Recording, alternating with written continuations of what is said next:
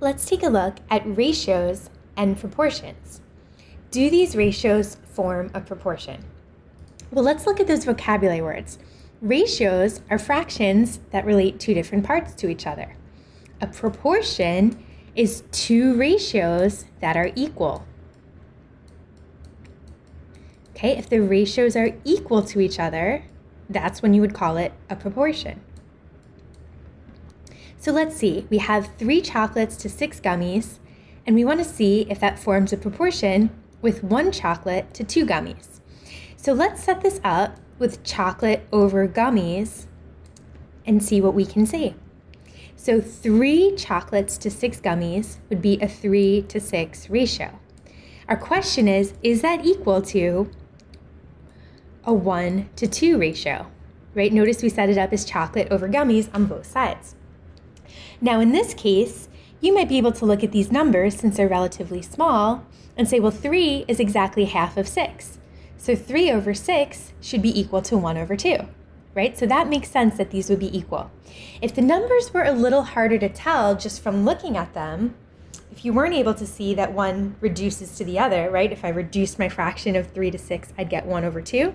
Another way to check is to cross multiply. If your ratios are in proportion, when you cross multiply, you would get the same number on both sides. If they are not in proportion, when you cross multiply, you would get two different numbers that are not equal to each other. So let's take a look at how we would do this with cross multiplication. If I cross multiply, 3 times 2 gives me 6. If I cross multiply on the other side, 6 times 1 gives me 6. And we can see that 6 is equal to 6, so that means that yes, those ratios are in proportion, or those ratios are equal to each other.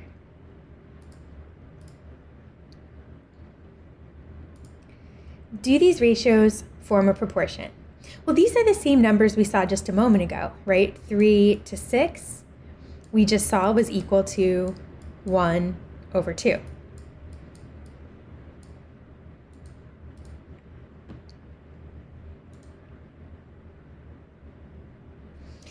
Do these ratios form a proportion?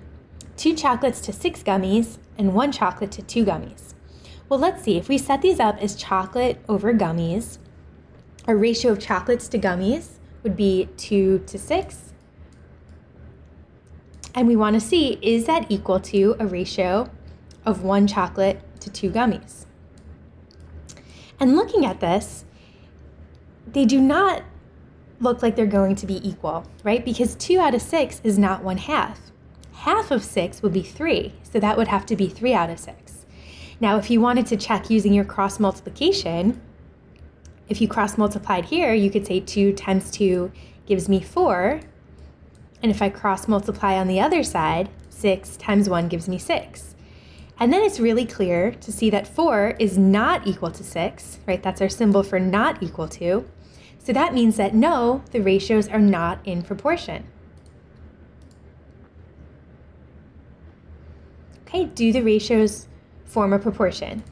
Three chocolates to six gummies, I'm sorry, three chocolates to nine gummies, is that in proportion or equal to one chocolate to three gummies? Okay, and this looks pretty good because if you reduce three over nine, you would get one third, right? Three goes into three once, and three goes into nine three times. So yes, they should be in proportion. If you wanted to cross multiply, you could say three times three gives me nine, when I cross multiply on the other side, 9 times 1 gives me 9. So yes, they are equal to each other or in proportion. Do these ratios form a proportion? $1 for three boxes, $3 for six boxes. Okay, well let's set this up as dollars over boxes. Okay, 1 to 3 would be our dollar to box ratio here. Is that equal to 3 dollars to six boxes. Okay, and you can see that these are not going to be equal because three is half of six, right? Three goes into three once and three goes into six twice. So three over six would be equal to one half, not one third. If you like the cross multiplying way, you could check it like this. One times six gives me six, and three times three gives me nine, And then you can see clearly 6 is not equal to 9, so no, they are not in proportion.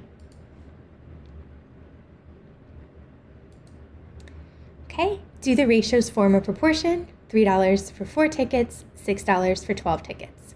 Well, let's set this up as dollars over tickets. So my ratio of dollars to tickets would be 3 to 4.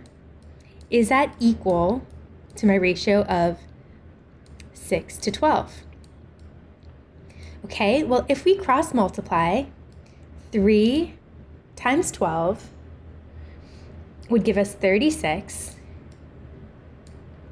And when we cross multiply here, 4 times 6 would give us 24. So those are not equal to each other. 36 is not equal to 24, so no, they are not in proportion.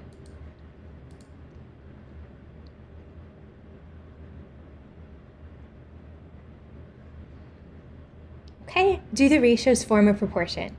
$1 for 2 tons, so that would be a 1 to 2 ratio. Is that equal to $3 for 4 tons or a 3 to 4 ratio? Okay, well to find out, let's cross multiply. 1 times 4 gives us 4. When we cross multiply on the other side, 2 times 3 gives us 6.